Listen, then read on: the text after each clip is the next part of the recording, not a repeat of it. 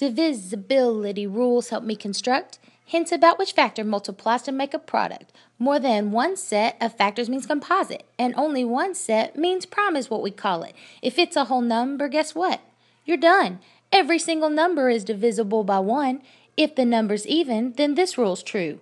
It is for sure divisible by 2. For 3, add the digits, then look to see if the answer's going to be a multiple of 3. To know if 5 can be a factor, look to see if 5 or 0 comes after. If you can divide by both the 2 and 3, then you can have 6 2 for free.